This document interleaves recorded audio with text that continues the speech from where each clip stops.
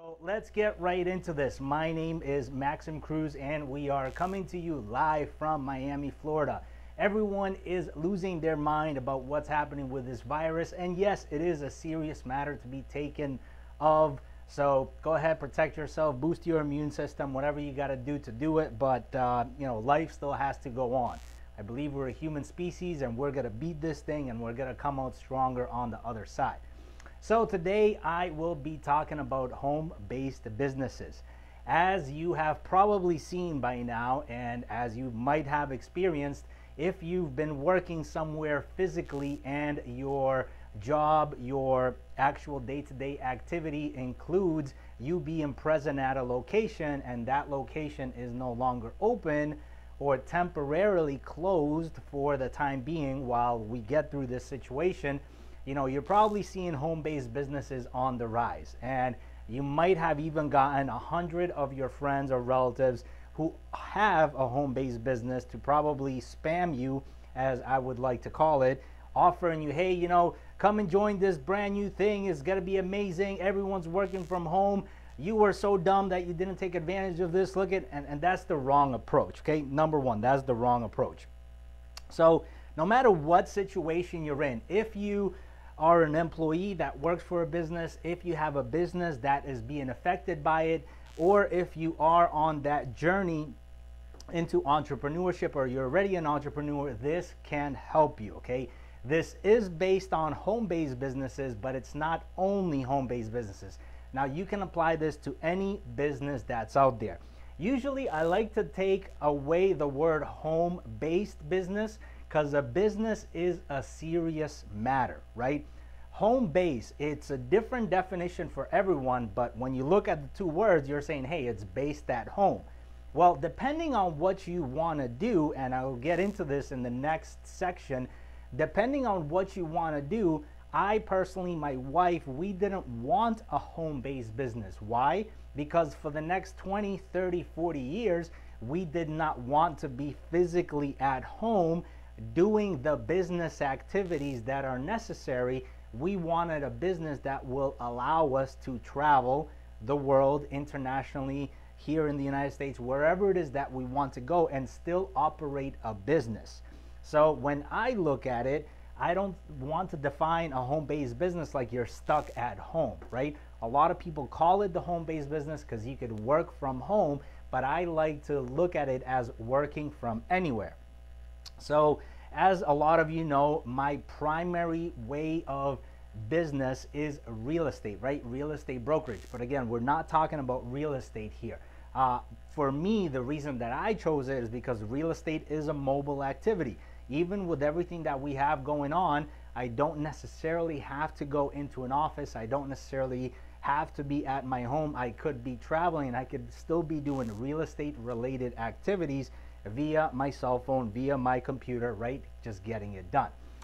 So let's dive right into it. And this video is broken up into five sections. So I'll go through each one of the sections first.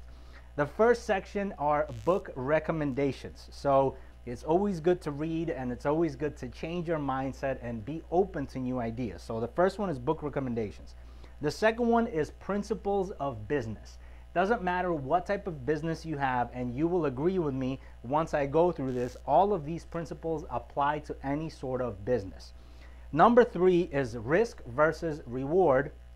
Number four is going to be how to choose your home based business, which is probably why you're watching this. And then number five will be general tips from my experience on what I went through and kind of, you know, just recommend a few things that you might not have considered. All right. So, point number one book recommendations. The first book that I always recommend is the Bible, right? You want to turn into the Bible or whatever it is that you believe in. You know, I haven't read the Quran, I haven't read all of the spiritual uh, books that are out there, but the Bible specifically, it talks about occasions where, you know, Israel in the Old Testament the whole nation of Israel, right? They went from being prosperous to being slaves to then again being prosperous to then again falling into slavery. so this back and forth. So I certainly believe that God created us to have dominion over this earth and to be a slave to a job or to be a slave to a certain enterprise is certainly not fun, right? You want to have control of what it is that you're doing. So the Bible is a great reading source. The next four books, okay, there's three books specifically by Robert Kiyosaki. The first one is Rich Dad Poor Dad, which was published in 1997. Again, if you're an entrepreneur or you're uh, somewhat into business, you might have read this book. So again, if you haven't, go and check that book out. Book number three, Cash Flow Quadrant. That was written in 1998. Cash Flow Quadrant is an, uh, an annex to Rich Dad Poor Dad because there you can pretty much understand what the difference is between income and liabilities or you know income and expenses. So same thing with assets and liabilities. So that's a key book to understand in anything that you do in business. The fourth book is called Business of the 21st Century, again by Robert Kiyosaki, 2010. Um, and that will get you more in line with this home-based business idea. And then the fifth and uh, not the final book, because there's always books to recommend, right? The fifth book, which will greatly help you in your personal finances as well as in business, is uh, by George S. Clason, Richest Man in Babylon. It was written in 1926. Remember, in the United States, we had the Great Depression in 1929. So we went through all of that stuff. And again, we had a, you know, we had the 2000.com bubble, which, you know, I lived through. Uh, I'm just talking about recent events, but every 10 or 15 years, we've had these corrections or large things happen in the market that everyone is like, oh my God, we're in an economic crisis. And it seems to repeat itself over and over and over about 10 to 15 years. That's just what the standard has been.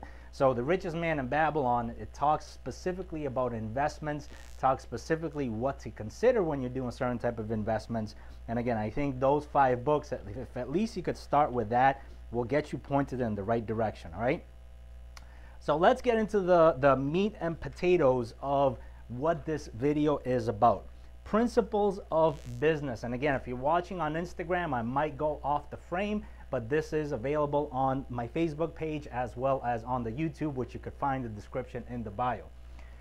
The principles of business. I truly believe any business that you dissect, any for-profit business that you dissect is to have these things in common, okay? And if you disagree with me, if you think that I'm missing a point, or if you think that there should be something else on this board, please comment and we'll go ahead and add it to this section in any future videos that I do. All right. Uh, the first thing that I want to identify is what is a professional, okay? A lot of you are professionals at what you are doing. You might be a professional truck driver. You might be a professional uh, janitor. You might be a professional construction worker. You might be a professional plumbing assistant. You might be a professional nurse. You might be a professional attorney. The word professional to me, as I understand it, does not mean a white collar, you know, uh, tie and suit type of individual. Okay, I have great respect for the individuals that are out there that are cleaning the streets, that are out there in the sewers dealing with literally crap every single day, that are out there cooking the food, that are out there delivering the thing, right? A professional, as you look it up in the dictionary, is an individual that is engaged in a specific, in a specified activity as one's main paid occupation rather than a pastime, okay? It's important to understand this because, again, for example, one of the things that I personally love is I like to go fishing. I haven't been fishing in a while, but I like to go fishing. Now, there are professional fishermen out there. Guess what? Their specified activity for their main paid occupation is to fish, right? That's what their main activity is, and that's what they get paid for. They're a professional fisherman. That's totally fine. That's the definition of one's profession, okay? So get that out of the way. It's the main source of activity. A lot of individuals get into the home-based business as a pastime, as a side activity, and that's completely fine, okay? A lot of individuals eventually transition from their full-time position to a home-based business becoming their main source of profession, and that's totally fine. A lot of individuals do that, and a lot of individuals actually leave their main profession, leave the side pastime in this home-based business, and they start a whole different thing which isn't home-based, which is a whole different type of business, right? But it gets them into that entrepreneurship spirit, right? So there's different steps and everyone is at a different uh, i don't want to say level but everyone is on a different uh, pace or in a different step of that journey that entrepreneurial journey and that's totally okay okay there's nothing wrong with that all right the principles of business this is i, believe the same in any for-profit business that you look at one of the things, one of the top things is marketing and advertising. Okay, a lot of people talk about marketing, but what is it? Let's break it down. The very, very basic definition is get people to know about your product or your service. Okay, it's as simple as that. If people know what it is that you do, that's marketing or advertisement. Okay, the next portion in business is sales. When people know what it is that you do, you facilitate those people in acquiring and obtaining your product or service. Simple as that. Again, an individual comes and says, "Hey Max, you're a, you know, real estate professional or you do credit repair. I need help with this." The next step is sales, right? I have to figure out what it is that that individual wants. Why is it that they're interested in that product or service at this time? right? What is, what is their major pain point? What is this solution that I have going to solve? If I don't have the answer to those questions, my product or my service might not be the best one. Same thing for a lot of businesses. A lot of businesses waste their time up here and they can't even help the client, right? They, if somebody comes to me right now and says, hey, you know, I have, uh, you know, my leg is sore and I have, you know, my, my bone inside is itching and it's bothering me, how can I help them? I'm not a doctor, right? I'm not a professional trained in this field. I have no idea what's going on with them. I have no experience with bones or itchiness inside. How am I going to be able to help them, right? I have to say, sorry, I can't help you, but let's Google a doctor together or something along that nature, right? So that is sales. So once that individual knows about your product, says, okay, your product or service sounds like a great solution for what they have, let's go and do business together, right? At that point, they become your customer, your client. Then what you have is customer service. That's actually where you help people use your product or your service and take care of their needs, right? As long as your product or service can solve that other person's problem, then guess what? They're probably going to continue paying for whatever it is that you provide. If your product or service doesn't solve their problem, they're not going to pay you or they're going to cancel whatever it is that you're providing. That makes sense, right? You're probably doing it right now with whatever product or service that you're like, well, I don't really need this thing. Why am I paying for it? Let me put it on hold. That makes complete sense, right? You don't want to waste your money on something that's not working for you.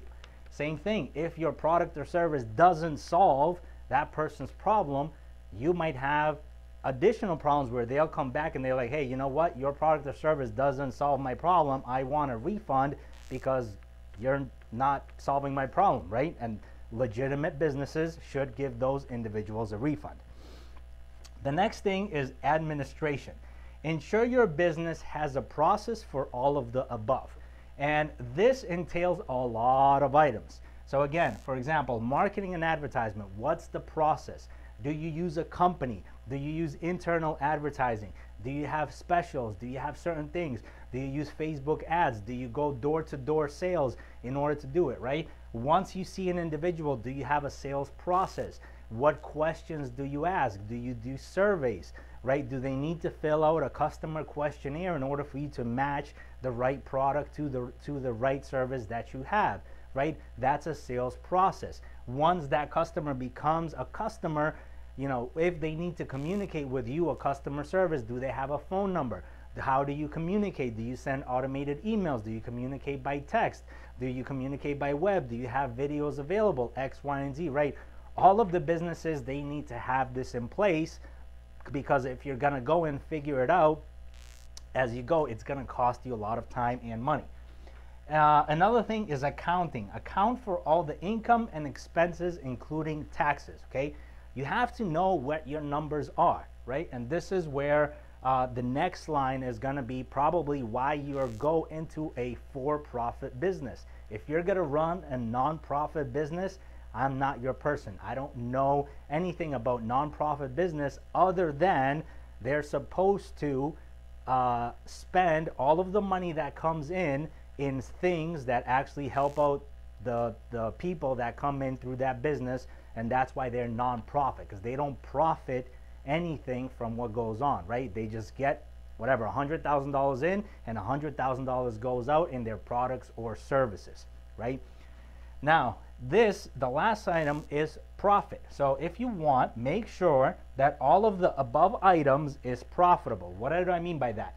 Once you do your marketing and advertising, once you do your sales, once you have your customer service, you have your administration, you have your accounting, if you had $98,000 that came in through this marketing and sales process, but you spend $108,000 through advertising, the salespeople, the customer service, the administration, the accounting department, including taxes, guess what? You're in the red right? You're in the red $10,000. So your business is not profitable, okay?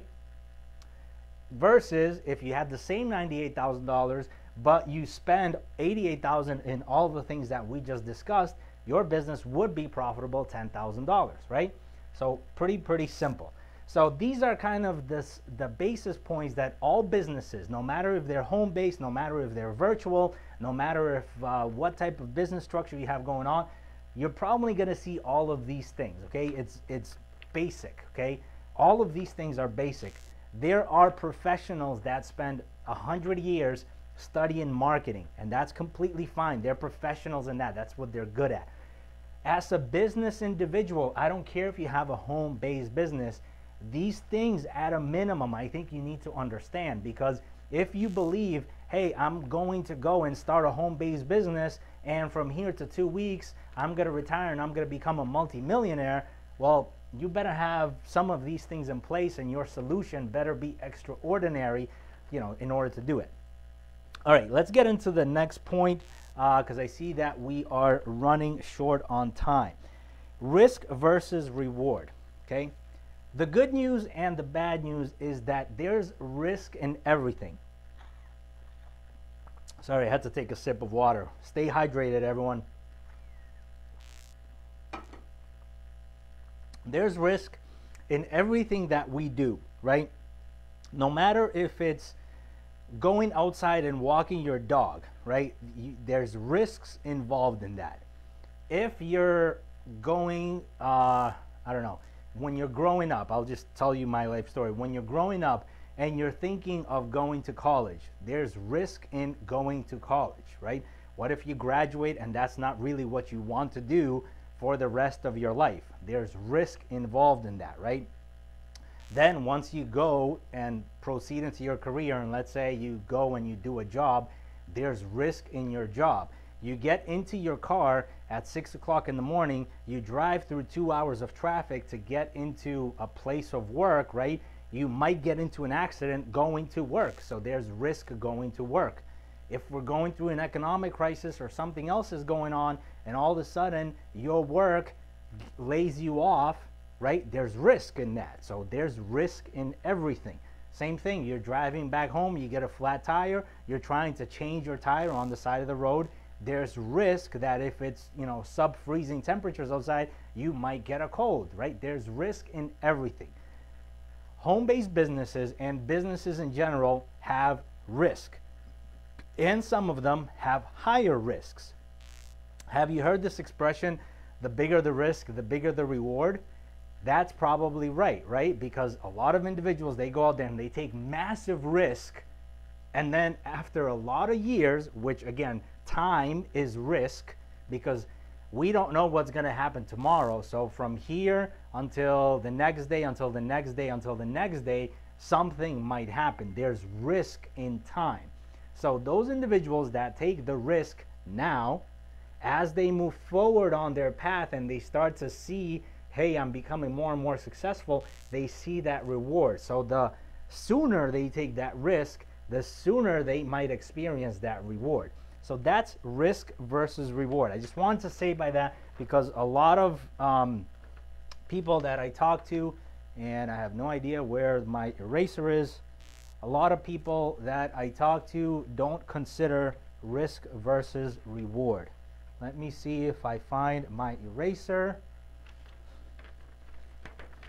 Do you see it? No. Just had it in my hand like two seconds ago.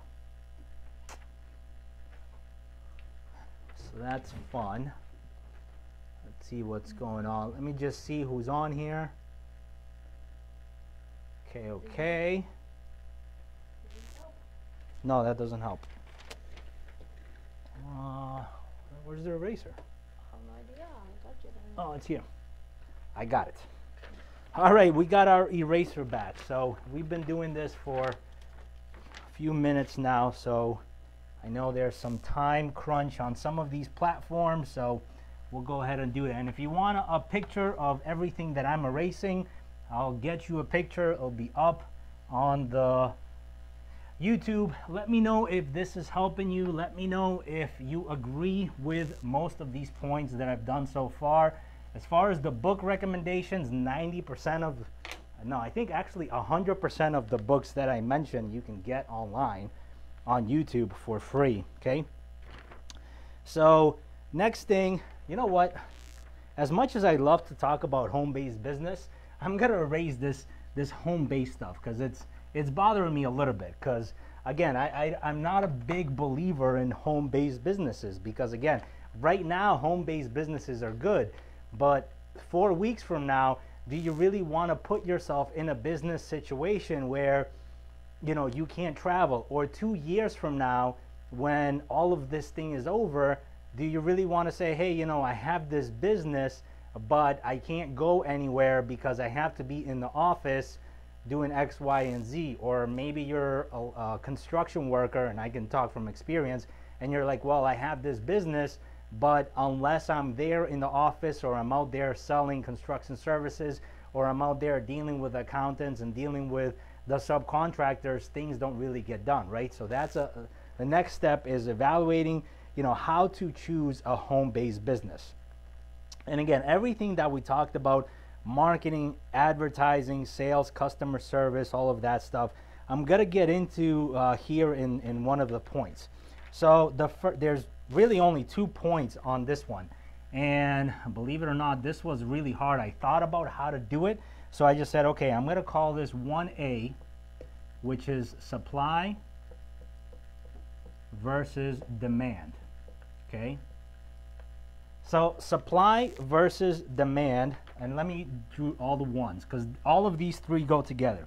It, it's not necessarily in this order, but I just wanted to go ahead and put this all as number one and talk about it as three different points. And C is skills. Okay.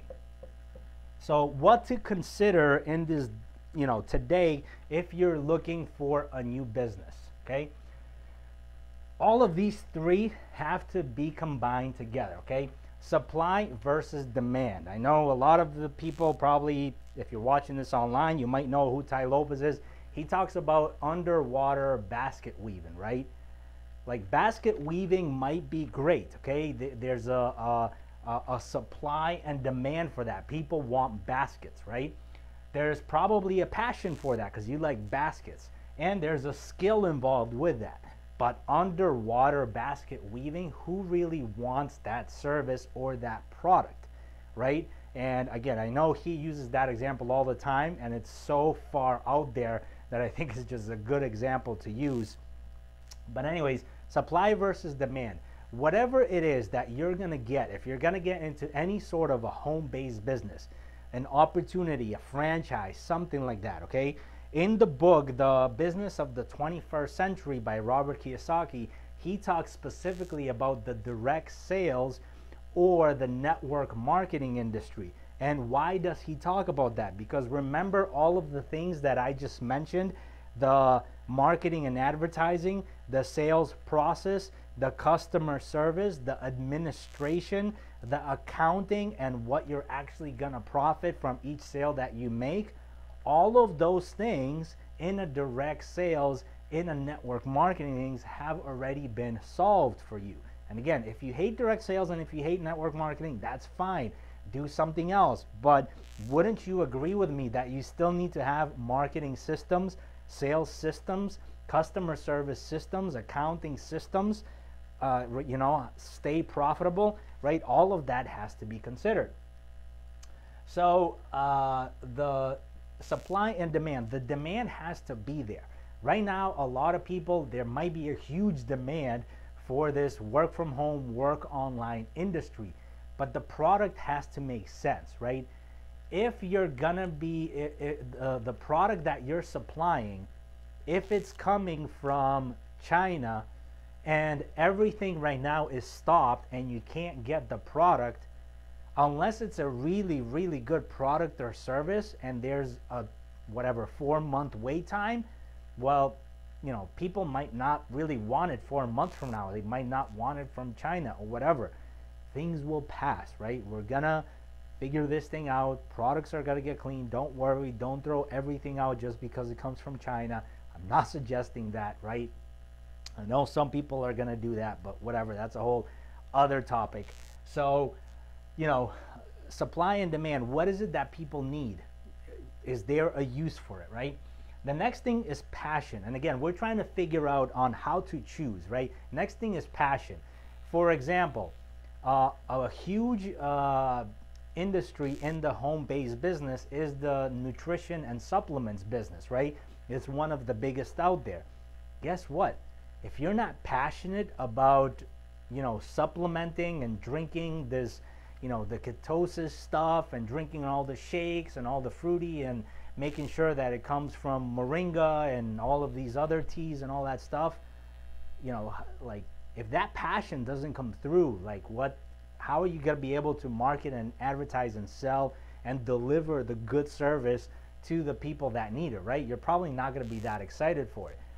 And then the third one is skills. What skill do you have right now that you don't need to go out there and learn that you can apply in your home-based business Let's say you are really, really good on your computer and you could send emails and then you have the Facebook Live figured out and you could do that.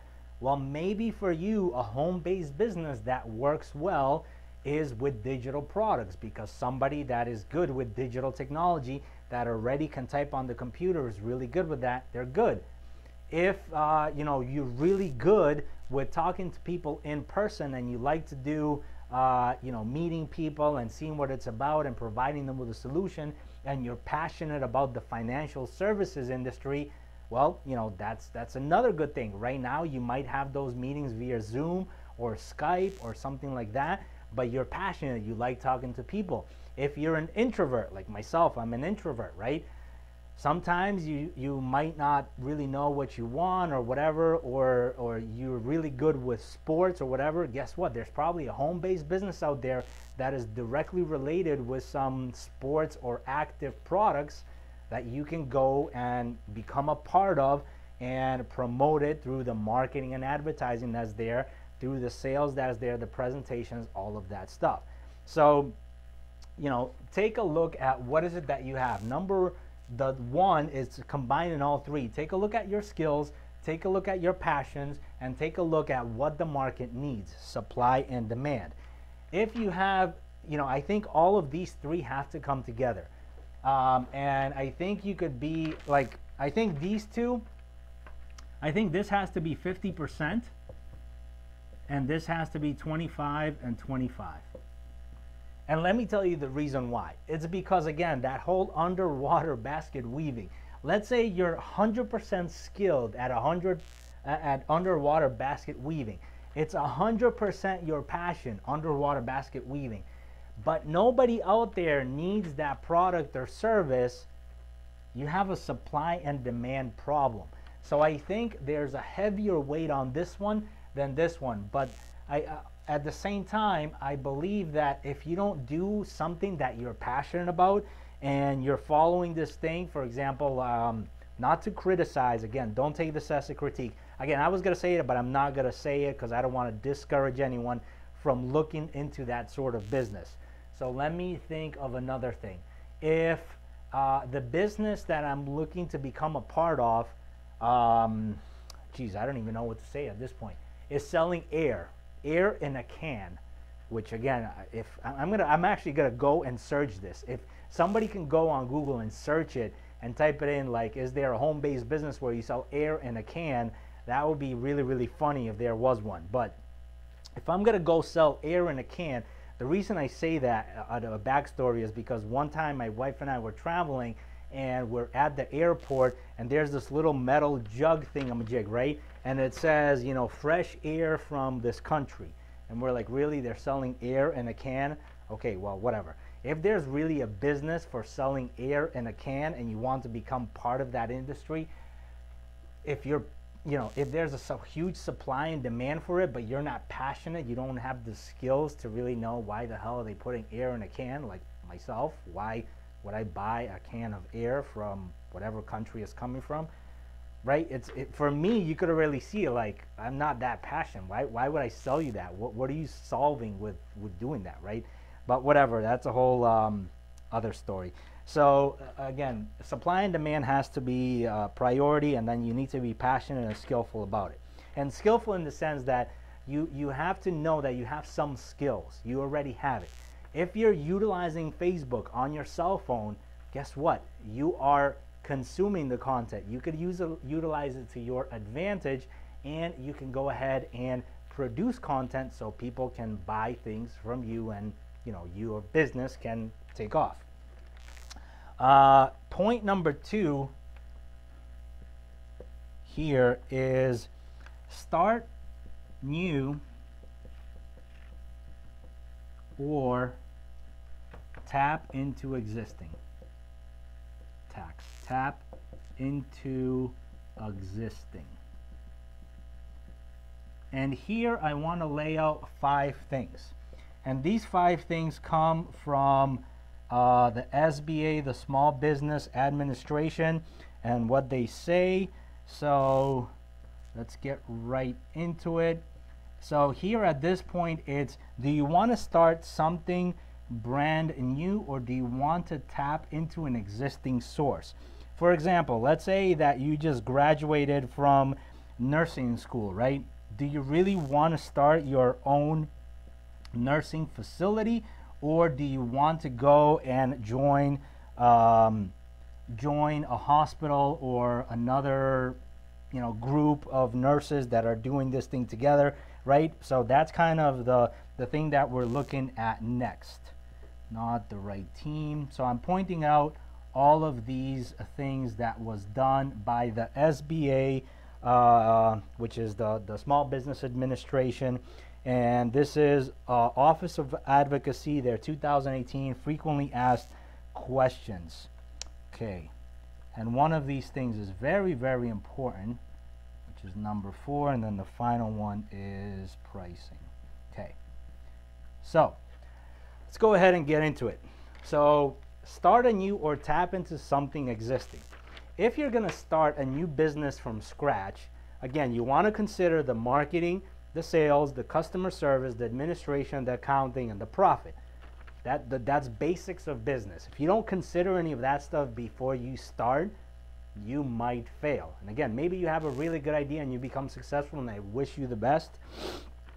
But uh, you could probably agree with me and say, hey, yeah, at some point I needed to figure out marketing and sales. At some point, I needed to administer my business better. At some point, I had to hire an accountant. So those principles are exactly the same, okay?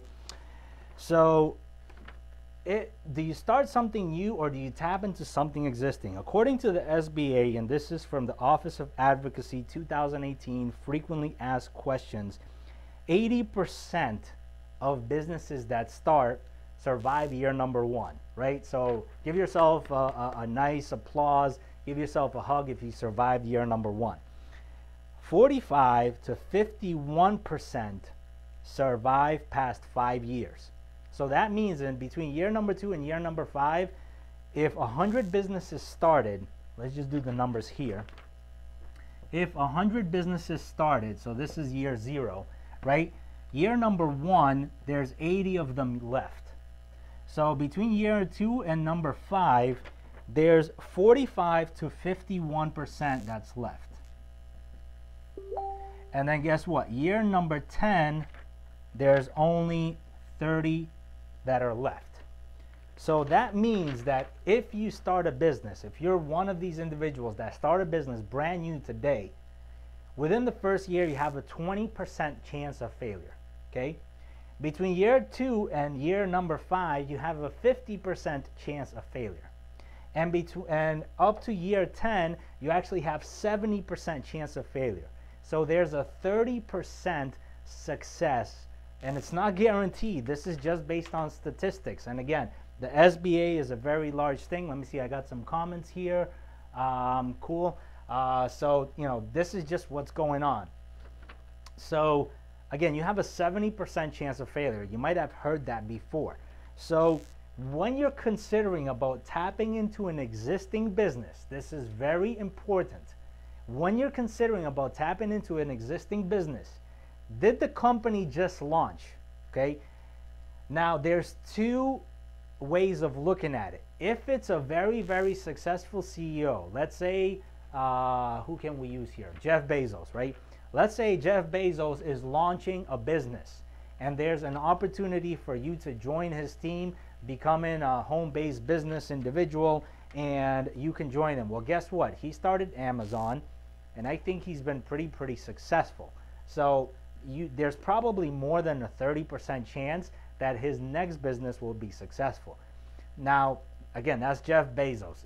He, has some reputation, he has some uh, skills, he has some track record of things that have worked. Now, he has a whole bunch of things that haven't worked as well. But, anyways, uh, so, you know, do you want to join Jeff Bezos or do you want to look into something that's brand new? They've never had a business before, they've never had a job before, they, they don't know what it's like to be in business they're starting something brand new, guess what? They might be one of those 20% that fail unless their product is really, really good. There's a lot of high demand for it, unless they're really, really passionate, unless they have the skill set or they hire the people with the skill set, right? So, all of those things are very important to consider when you're tapping into an existing business. Uh, a lot of people, for example, hate the direct sales or, or network marketing companies because they say, oh, well, you know, these companies start off and then all of a sudden they go out of business or whatever. Yeah, look at the numbers. You know, 20% of all businesses that start up fail within year number one. 50% fail between year two and five. 70% fail within, you know, uh, the first 10 years. So guess what? If you were to, right now, if I was in the position that I say, hey, you know what? I'm ready to uh, explore this uh, direct sales network marketing industry. What are the opportunities that are out there? One of the questions that I believe you should ask is, hey, when was the company, you know, established? When did you guys start doing business? Well, you know, we saw that there's a whole bunch of people looking for home base and we're just starting today. The, the, the numbers are there, right? If you go ahead and go with one of these companies and tomorrow they're no longer in business or next year they're not in business, it's it's the numbers are there okay? Versus if you're saying hey how long have you guys been? Well we're still relatively new but we've been actually on the market for 12 years 14 years 15 years right? They're not this 100 year old company which again it's great to join those because they probably have all of the things that we discussed their marketing their sales their advertising their administration all of those things have probably been figured out for them to survive 100 years so again, that's a good thing. But at the same time, I think the sweet spot for these home-based businesses, direct sales, network marketing, whatever you want to call it, I think is somewhere between that five, uh, actually that seven to 10 year period. If those companies have been around for at least five to seven years or past the 10 year period, they're probably going to continue to do business and they've done certain things well in order to still be in business today, okay? So that's the first one. The reasons that business fail, again, is no market need. If the service or product that they provide, nobody needs them, again, supply versus demand. That's why I put it right up here. The second one, and again, this is according to the SBA Office of Advocacy 2018 frequently asked questions, not enough capital. That's why your accounting has to be important. Remember how we said that if your business makes $98,000 a year, but if you spend in order to service the customer, do the advertising, do the accounting, 108,000 and you're in the negative 10,000, how long can you do that? For the first year, for the first two years, yes, you might be able to pull that off. But if you do that consistently for 100 years, and every year you're losing money, you're losing money, you better have some other source of income or whatever to, to sustain that business. Okay. So, uh, so that's not enough capital. Number three, not the right team. And this is huge. This is very, very important. The people that you work around with, the people that you surround yourself, I don't care if they are on Facebook or on Instagram or on Snapchat or TikTok or all these other platforms, you better like those people. Because if you're part of a team of individuals that you don't respect, that you don't like what is it that they do, that they don't respect you, that they don't at least show you the right resources, that they might not be, you know, number one, this is your business. So get that through your head. It's your business. But if in that business you don't like anyone and nobody likes you, why would you stay there, right?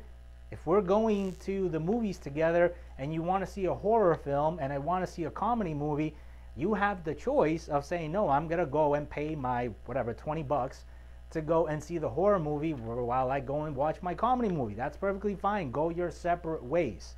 So, not having the right team is huge. Competition. I think one of the biggest mistakes that I've heard people say is, oh, you know, our product is so good, there is no competition. Nobody else has this. You're right. I can guarantee you go and look at any product or any service, there is at least one other individual that is doing maybe not exactly the same thing, but very, very, very, very, very 99.9% similar. Maybe they're using the color red in their drink and you're using the color blue and they call it Gatorade and you call it Gatorade. There's competition out there. So, you know, understand that there's always going to be competition. And look at the, the funny thing is the last one is pricing. Why is pricing the last one? The reason is because when we look at all this stuff, if you're skilled, if your product is really good, if you're passionate about it, if the market needs it, the price doesn't matter, right? I think yesterday I was watching something live uh, from Brad Lee, and he was saying, hey, guess what? If I woke you up tomorrow and said, hey, let's go to wh- wherever. Let's let's run a mile down the road, and I'm gonna wait for you with a bag of 200 million dollars. Right? You would probably wake up and you would go and run there with a mile to get that bag. I don't care if you can't run or whatever. Now he said, but the only catch is that tomorrow, you know, you can't wake up, which means, okay, you got your money today, you enjoy 24 hours, and the day after that, you can't wake up. Would you sacrifice your life for that sum of money, right? Some people might say yes, some people might say no. So at the end of the day, price is not that important. If you can solve that individual's problem, if you believe, if you're passionate, if your product is good, if your service is good, and it, uh, you know, services that individual and solves their problem, the money doesn't matter. That's why it's down here on pricing.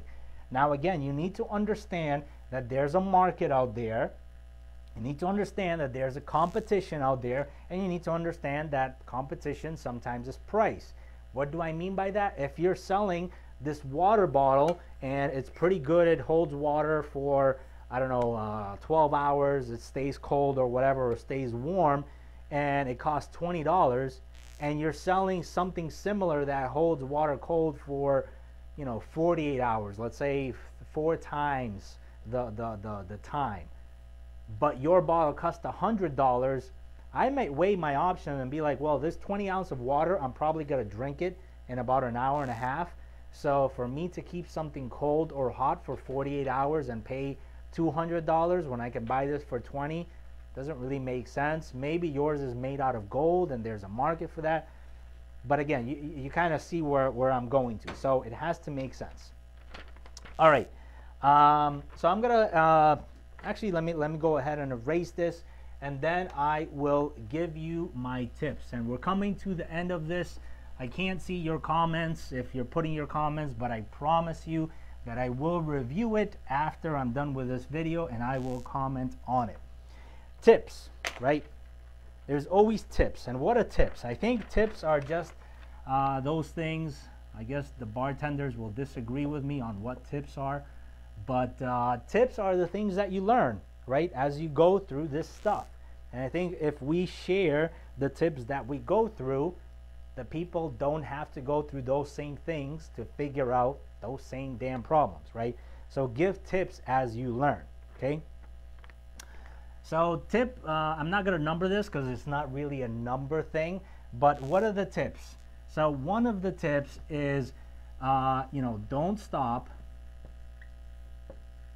stop your main source of income. All right, and I'll show you what I mean by this. So, uh, my wife and I, you know, we decided to buy a property um, early enough in 2011 and a cash flow and all that stuff. At that time, I did have a job. I was working, um, and, and, you know, I was going into an office from 8 o'clock in the morning until 5 o'clock at night. All of that stuff was happening.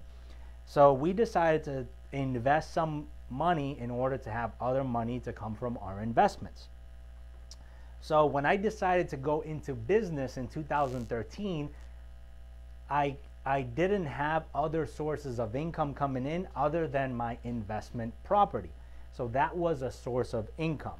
Now, if you have no source of income, saying that right now you go and you work 40 hours, 20 hours, 168 hours in a week, and you get a paycheck that comes in, and you spend all of it, and you have no savings, and you have nothing, just because we're in the middle of this thing, don't be like, hey, uh, Mr. Joe, you know what? Two weeks from now, when all this thing is over and the office opens up, I'm not coming in. I got this home based business now, and that's it. See you later. Don't call me ever again. This isn't going to work. Be careful, right? right? I, I don't think you want to do that. Uh, you want to plan plan for one to three months of unstable unstable monies, right? And the reason that I didn't want to call it like low or uh, little or, or big or whatever, it's just going to be unstable. And the reason that it's unstable is because you're just starting a home based business. You might have a whole bunch of people that are really interested in your keto shake and you might sell 5,000 of them because guess what? Everyone is stuck at home. They can't go to the supermarket. Their Walmart is closed. It's 200 miles down the road. The UPS guy and the you know postal service is still delivering, so they might order 200 boxes of keto drinks, and great, everything is going good, right? But that might not happen. It might take one to three months for you to do that. So unless you have some savings to hold you up or unless you have some other sources of income like your husband or wife is working, your partner is working, you have investment income that pays you every single month, you have dividends from stocks or other investments, whatever the case is, right? Plan for one to three months of unstable income. And this can range from zero to negative X number to positive Y number. Whatever the numbers are, is irrelevant, okay? Just know that it can fluctuate. One day you can get zero, the next day you can lose money because you might spend more in advertising and marketing than the actual sales that you make. Another day, you might only spend $100 in advertising your products if you even decide to advertise, but you might get $1,000 in sales, right? But guess what? If right here, week number one, let's say you spend $1,000 in advertising, you made zero sales, the next week, you spend $0 in advertising and you make $1,000 in sales, and those are your profits, let's just say. What's your net income? Zero. You invested $1,000 week one, you got zero back. You invested $0 in week two, you got $1,000 back. You, you see what I'm saying? Like you didn't make anything, okay? So this is it's why it's unstable and this is why it's good to keep records, okay? So this I think is a, is a point that you can all agree with me. Learn something new every day, okay? New every day. Every day. So learn something new every day. Now it doesn't have to be books, it could be YouTube videos, it could be news about something that's specific. You know, it could be industry standard publications. For example, if you're going to go into the whole health and wellness and you're really interested about, uh, I don't know, CBD products, which is big right now, or you're really interested about these keto things, go and look up some industry thing. You might read the Health Journal or Times Magazine in the health section and see what they're saying, Wall Street Journal. You might watch the news. You might find a few YouTube videos of what things are working for people, right? You also want to tap into books on sales and marketing, right? So sales and marketing. And why is this important? Because every single business, as we looked at uh, the previous thing, every single business needs to have sales, and every single business, as they market, they increase their sales, hence they get more customers. So you at least want to understand what it takes. I'm not telling you to become a professional salesperson. I think you already are a salesperson because you're looking to move into the next thing, right? So you're selling yourself into what's next, right? I'm not telling you to become a professional marketer, but at least understand it. Understand that if someone is a vegan and you're selling them Omaha steaks, I don't care if you're selling your Omaha steaks at 99 cents a pound, and typically they're $100 a pound. I don't know what the numbers are, but those vegans are not going to buy your steak. So stop advertising and marketing to vegans who don't eat meat, right? That's marketing. That makes a lot of sense, okay? This point is a point that I fought for a long time, but anybody that is in sales or in business will agree with me. This is a numbers game. Focus on the people that you can help. Can I please borrow your calculator real quick? So focus on the people that you can help. And what do I mean by this? It's very, very simple, okay? And let's just do it this way. Let's say you're in the United States of America. And right now we know that the population is about uh, is about 300 million okay? And let's just say that you're selling a health product and it cures cancer. Let's just say, I don't, I don't know what product does that. The first thing that you would say is, okay, what percent of the population currently has cancer? Let's say it's 10%. And again, I'm, I'm making these numbers up. I haven't researched this. I'm just giving you an example. So what this means is that 300 million Americans is our population. It's about 350, but I'm just saying 300. 10% of the people have cancer, so that means 30 million people have cancer. If your product can cure these people, okay, and check this out. This is going to blow your mind. That's 30 million individuals, okay, that need your product to cure them, right? Now, let's just say, based on all the numbers that are out there, that when you start talking to this 330 million people group, um, that you're really, really bad at sales and only 1% of them, 1% of them buy your product or service. 1% of 30 million is, let's say, 1, 2, 300,000 okay? If I did that right, 10% is 3 million, 10%, yes. So 300,000 people. Now check this out. Let's say your sales process lasts five minutes. Five minutes, okay? So if your sales process lasts five minutes, for you to talk to each one individual one time, 300,000 times 5 is 1 million, yeah, 1,500,000 minutes. Divided by 20, uh, 60 minutes in an hour. That's 2,500 hours. Okay? Now, let's say you work eight hours a day. Heck, let's say you work 16 hours a day from, from uh, no, let's not give you 16 hours so you have some time or whatever because you're starting this business because you want some freedom, right? But let's say you work 12 hours a day. So you get up 7 o'clock in the morning, you make breakfast, you send your kids or your loved ones to work, school, whatever.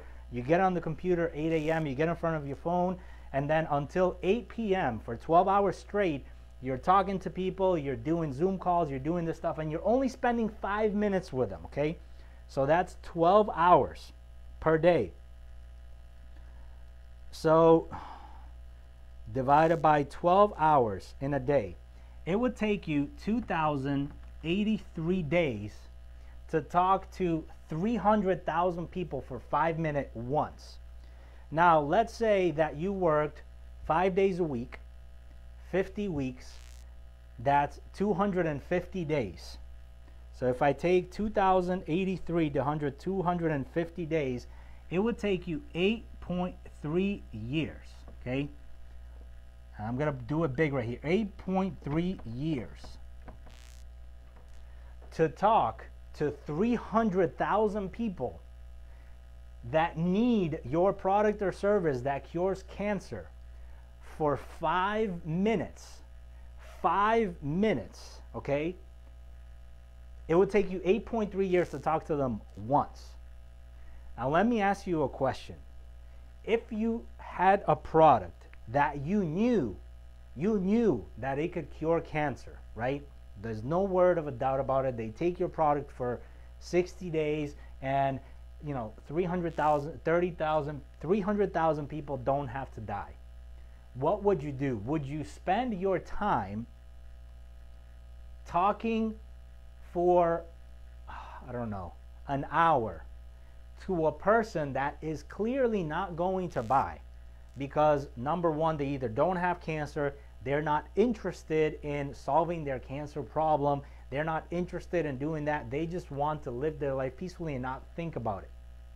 Would you spend an hour talking to them if you knew that it was going to take you eight and, a, eight and a half years, 8.3 years, to speak with 300,000 people for five minutes one time? And I don't know if you would agree with me or not. Any salesperson that's out there, you probably have to spend more than five minutes talking with someone in order to complete a sale to solve their problem, this is 300,000 people.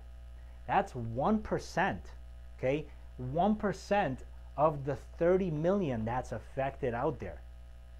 So, as bad as you feel, and as as your mind says, hey, you know, I, I really want to solve help this person or whatever, there's 299, 999,000 people that are waiting for your phone call desperately, but you've decided to stop and give up because it was a bad call, right?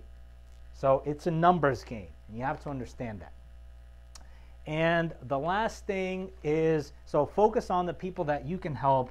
And the last point right here is invest your earnings. Okay? And this is where uh, Cash Flow Quadrant and The Richest Man in Babylon, those two books can really help you out because, again, right now in the situation that you're in, let's take, let, let's take a screenshot and let's go forward five years. Forget about 10 years. Let's go forward five years if you do exactly what you're doing right now, and we go through a similar situation again, what is your game plan? Okay. Not only that, but if you've been working at the same place for 40, let's say not 45, let's say you've been working there for five years, and you're gotten a raise for a dollar, but you still have to go in the office, they treat you like crap.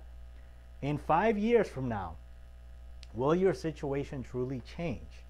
Right? That's why you're probably looking at this stuff. Okay? So invest in your earnings. Why is that?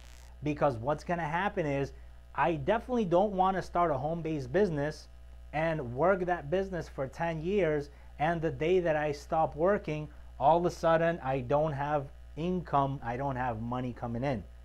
You're probably looking for some sort of business, some sort of structure that you can go in there. You can have a three to five year game plan, okay, or a 10 year game plan or a 20 year game, but you have a game plan, number one. You have a game plan where you say, okay, this is my game plan.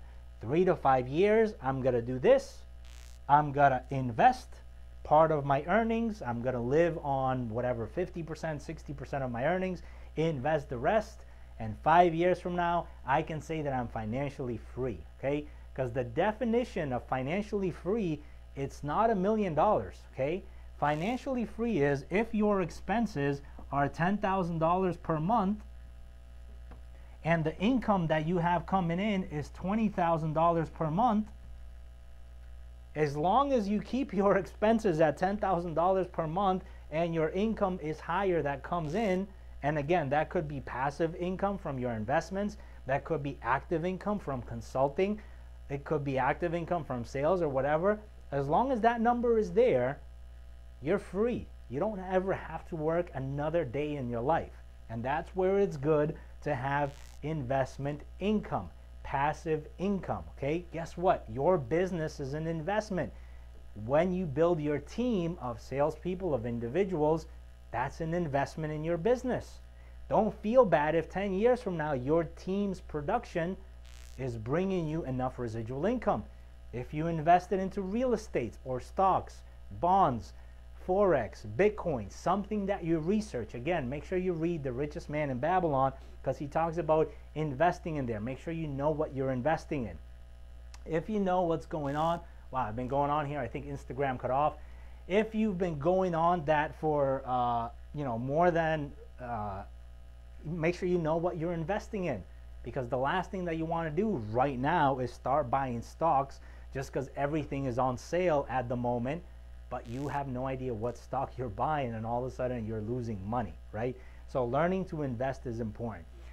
So I know that this video helped you. Uh, if you want more information on any of this stuff, any of the books that I recommended, make sure you reach out to me. If you're looking for a home-based business, I do have something that's available. It might not be for you. I don't work with everyone. I'm very selective on the people that join my team. Uh, but again, I truly believe that this can help you in whatever business that you're looking into. The most important thing that you can do right now is research and align yourself with something that works for you. Okay? Don't just sit on the sidelines, take a two week vacation, and think that everything is going to go back to normal because we've already seen, we've experienced, unless you're taking care of yourself, your loved ones, your community, guess what? Nobody else is. And if you're relying on somebody else or the government, or whatever to take care of you. The bad news is is that we're going to have more bad times. So get yourself prepared. So with that, hopefully you enjoyed this video. Let me know what additional information I can send you and I'll see you on the next video. Hashtag replay, rewatch it on YouTube. Let me know how I can help you. See you on the next